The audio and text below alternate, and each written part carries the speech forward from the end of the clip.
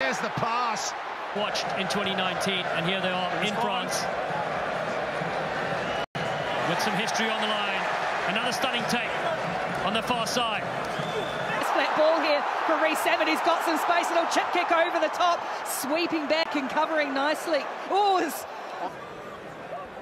Talia's there for New Zealand, but it's into Argentine hands. It's the number eight, Facundo Isa. What a run from him. And now Boffelli. Gomez Cadello sends it up. Lee underneath it. Oh, Boffelli, brilliant. So good in the air, Emiliano Boffelli, and he's put his team on the front foot once more. Boffelli